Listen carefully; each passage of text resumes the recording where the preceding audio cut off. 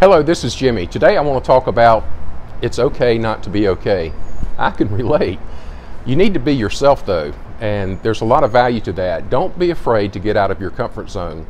A lot of people hold themselves back in their potential by wanting to stay right where they are, but it's fun on the outside. Be willing to make a mistake. Go out there and do something different. Get out of your comfort zone.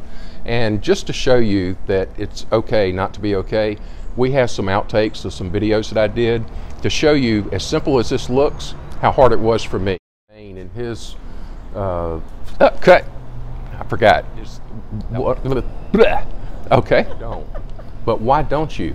Cut. Why did I even say that? Okay, I know what I'm going to say. And being the, um, let's cut. All right. Make it happen.